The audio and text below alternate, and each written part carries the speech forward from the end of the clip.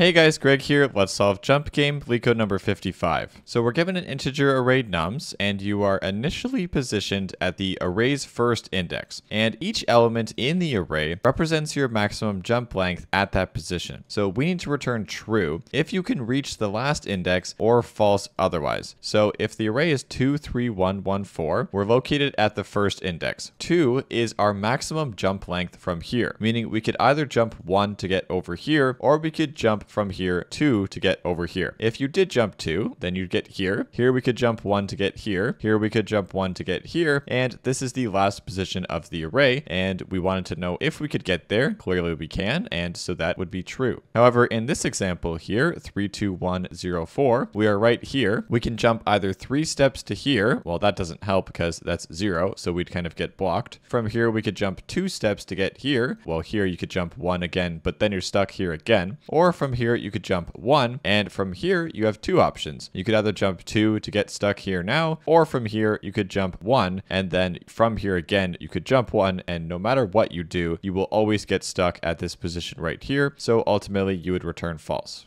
So before I even worry about kind of visualizing this, because that visualized it pretty well in the examples, we are going to write the dynamic programming. And the reason for that is because it's actually not even the most optimal solution. The solution we'll see later is going to be significantly faster and doesn't use DP at all. So we're going to start this off with the base recursive solution. Now the time complexity of this, as we'll see, is actually exponential. It's going to be big O of the max of any of the numbers to the power of n. So it's a big value value to the power of n, it is going to be very slow and not even close to passing the cases. And the space complexity of this, it will use recursion, and so it's going to end up to be O of n. So if n is equal to the length of the numbers, then we'll define a helper function. We'll define can reach from an index i. So this function will be recursive, and it's going to return true if we can reach the end from this index i and false otherwise. So our base case logically would be, okay, if i is equal to n minus 1, so if we are at the end, well then we'd return true. Now for each jump in the range of 1 to nums at i plus 1, 1, 2 up until our array value. So if we can reach there from i plus our jump, so we're jumping from our current position of i, if we can reach that, well that means that at some point down the road, we must have hit the end. And so if we can reach it, well then we should return true, saying that we can reach it from i. Okay, if we go through all of the jumps here and we never actually get any of those, well, then that means we couldn't reach it. We must have got stuck, so we'd have to return false. Then we would just call this function on return can reach at zero. So we start at the first index. Can we reach it at zero? This will be a very slow function to write. This is going to not even be close to passing the test cases. Let's go through this example again here, exactly with what our code is doing. So the first jump we do is one. Okay, well, same thing here. Okay, let's try jumping one. Boom, we get stopped. Okay, so we kind of have to backtrack over here. And so this guy would say, okay, well, a jump of one didn't work. Let's try a jump of two. Okay, we go back over here and say, okay, let's try a jump of two. Now, this is where it gets very interesting here because we have already seen that this doesn't work. We don't have to, from here, say, okay, let's actually try jumping one again. No, we have already been in this position and totally exhausted the fact that this is a bad position. This index here, we know because we've already done the recursion and tried our jumps that this is a bad index. So we need to mark in our code basically the good and bad indices. So we'd make a memo, which is going to be a dictionary that has our base case n minus 1 is true. We can definitely make it from the end. So we change this to say if i is in the memo, then we would just return the memo at i. So if we already know whether this index is good or bad or not, well, let's return that result. Now, otherwise, if this doesn't go through, well, then we actually need to calculate it. And so if we get in here, so if we found we can reach it, well, then we'd want to set memo at i equal to be true. And if we get down here in this case, you'd want to say we can't make it. Let's set that memo at i is equal to false. So now we don't have to keep trying these bad indices over and over again. This one here, it doesn't work from here. So if you ever get to this point, you simply just want to return the result that it's no good from here. Okay, this is actually going to dramatically pick up our speed here. So we would call this the top-down DP approach, and that's via memoization. And the time complexity of this is actually going to be big O of n squared. And this one still doesn't pass the test cases because big O of n squared is still actually pretty slow. It turns out that there's a totally different approach to this altogether, and I'm going to show you that now. Okay, so the idea here, and it's going to take some convincing that this actually works, but it really does. You can start at the end here, and you can say, okay, well, this is currently our goal. So I'll kind of write this down as our goal. Can we make it to the goal? Well, yes, of course we can. We're at it. What about from over here? Can we make it to the goal? Well, yes. Our max jump of 1 plus our current index of 3, that would equal 4. So we could actually get to the goal. Okay, so actually the new goal is just to get to where we are. So if you can get there from here, well then this is really our new goal. Okay, how about can we get there from here? So we have a max jump of 1. Our current index is 2. And so we can get to 3. Yes, we can actually get there from here.